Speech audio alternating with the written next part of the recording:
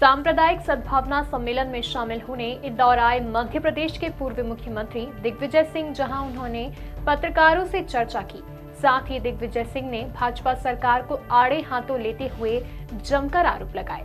कांग्रेस के पूर्व मुख्यमंत्री दिग्विजय सिंह ने पत्रकारों से चर्चा के दौरान कहा कि भारतीय जनता पार्टी के पास केवल एक ही एजेंडा है। हर चुनाव में विकास की बात करते हैं और आखिरी में हिंदू मुसलमान पर भाषण देते हैं। देखिए हमारे रिपोर्टर चंकी वाजपेयी की ये रिपोर्ट। ओवैसी जो हैं, अपना गृह राज्य तेलंगाना में सारी सीटों पे क्यों नहीं लड़ते? वहाँ क्यों नहीं लड़ते? बिहार में क्यों लड़ते हैं? यूपी में क्यों लड़ेंगे? केवल भाजपा से मिली जुली कुश्ती है। मैं तो शुरू से इस बात को कहता रहा हूँ।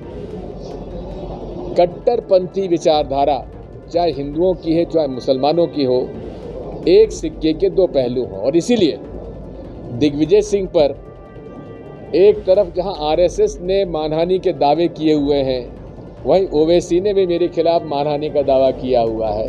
और एक फ्रॉड राम बाबा, वो रामदेव ने भी किया हुआ है।